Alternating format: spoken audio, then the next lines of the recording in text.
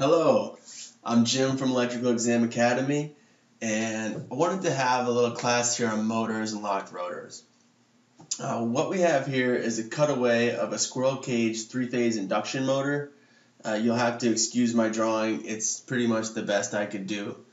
The, the motor is made up of the case, the stator, the squirrel cage rotor, and the rotor is made up of iron rods. So you literally have to picture a squirrel cage. Now, induction happens when an iron rod is passed through or what we call cut by an electromagnetic field. So basically, when you pass an iron rod by a magnet, the magnetic field will induce a voltage onto the rod. Now, what we mean by induction motor is the current flow into the rotor is induced from the rotating magnetic field of the stator.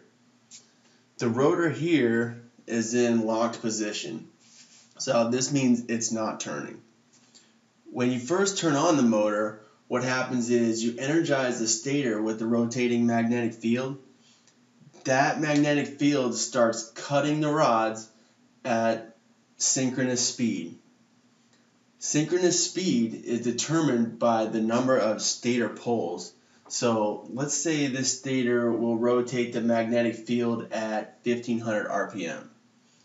When you start cutting the rods in the squirrel cage at 1500 RPM, you induce voltage onto the rods. Um, this will cause current to flow in the rods, turning each of them into their own electromagnet. The rate at which the magnetic field cuts the rod determines the current flow from the stator to the rotor. So this is where all the inrush locked rotor current comes from. Uh, since the rotor is not turning, the rods are being cut at the rate of 1500 RPM. Now, for a split second after you apply power, you have the rotation of the stator's magnetic fields cutting the rod at synchronous speed, which is max speed, turning the rotor into uh, you know a very strong electromagnet. The magnetic field of the rotor is then attracted to the magnetic field of the stator and will start to chase. Now, let's say let's say a half a second after the power is applied, the rotor is now turning at 800 RPM.